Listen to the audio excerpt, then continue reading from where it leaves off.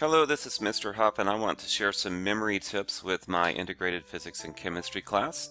Uh, sometimes in school you will have to remember things uh, that are kind of, you know, really specific or something like that.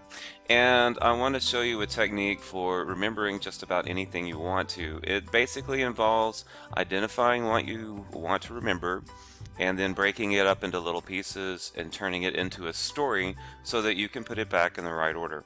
So let's look at three examples. This is Herman the Worm. He is an inchworm.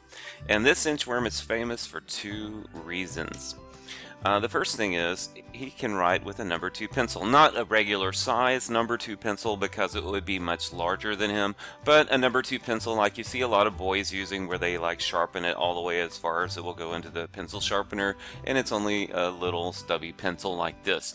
So this inchworm can actually pick this up and write with it. So he's learned a few letters and a few numbers because you know he's an inchworm. He doesn't have a really big brain.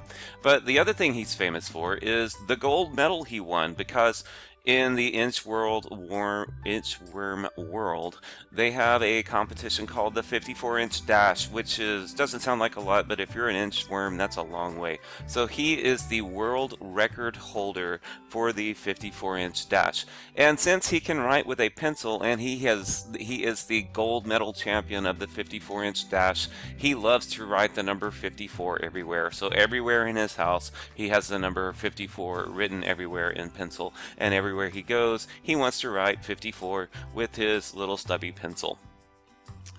So this should help you remember that if you want to know how many centimeters are in an inch, you could look at, think about Herman the Worm, the inchworm, who can write with a number 2 pencil, and he won a gold medal uh, for the uh, 54 inch dash, and he loves to write the number 54 everywhere. So you can remember 2.54. That's an example there. Let's look at another one.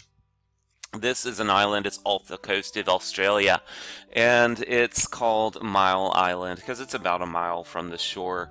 And there was this terrible story. It's a tragedy, really. There were these five guys. So we have Billy, Bobby, Bruce, Bo, and Bubba, and they got stranded on Mile Island.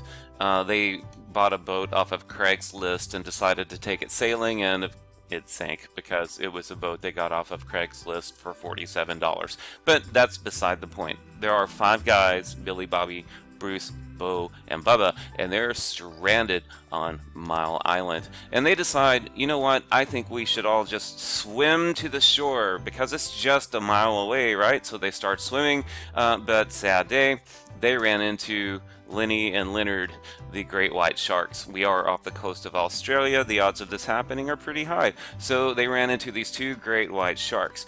And the great white sharks, being very voracious, they began eating. They ate Billy and Bubba, and then they ate Bobby and Bo, and Bruce was left, and they couldn't figure out how to decide who would get uh, Bruce. Do they need to like cut Bruce in half and each share and share? But they decided it would be better if one of them got it. So Lenny suggested they play rock, paper, scissors.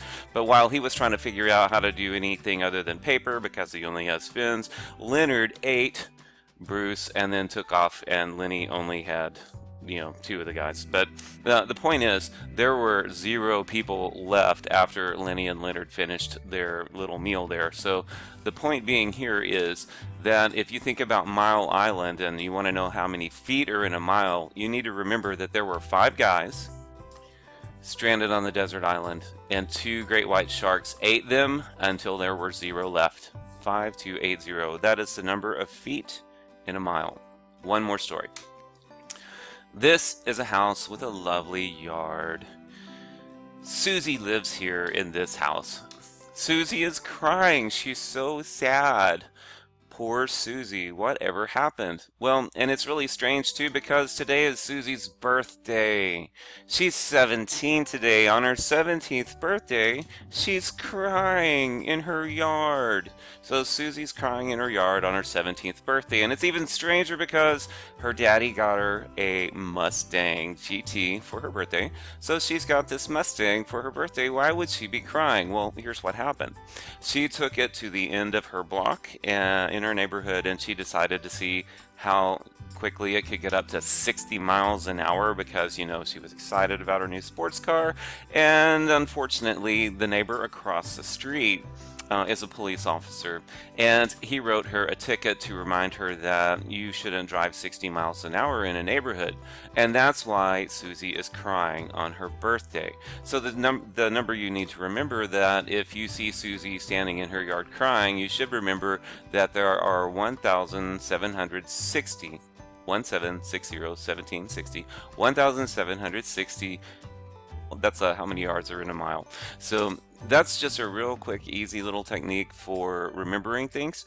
So if you want to remember you, something, you break it into a little story, uh, make it silly, make it something easy to remember. Gross things are a good idea, scary things are a good idea, funny things are a good idea. Just break it down into pieces and make up a funny story that has a specific order, and you can remember. Uh, you can remember information very easily. I hope you find this helpful and have a good day.